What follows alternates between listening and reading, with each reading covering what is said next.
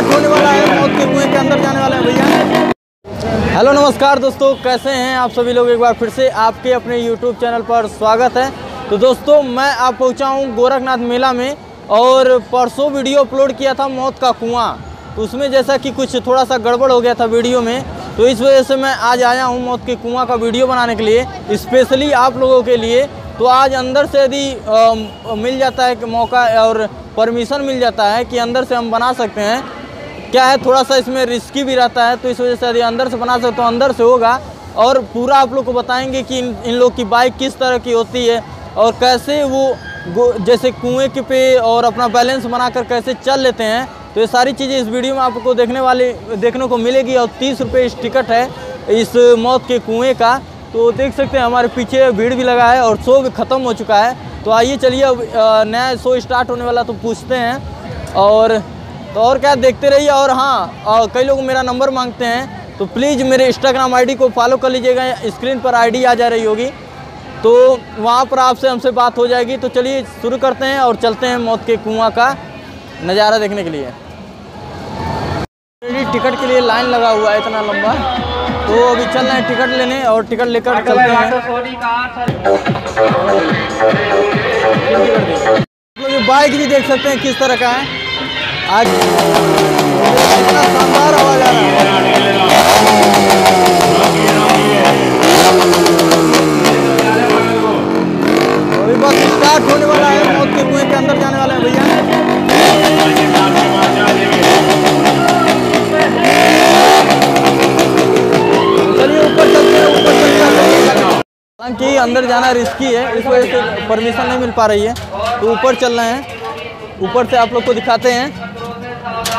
आखिर कैसे लोग चलाते हैं?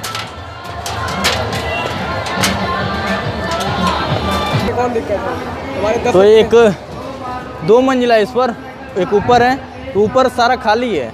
यहीं से मज़ा आता है सारा देखने में। नज़ारा।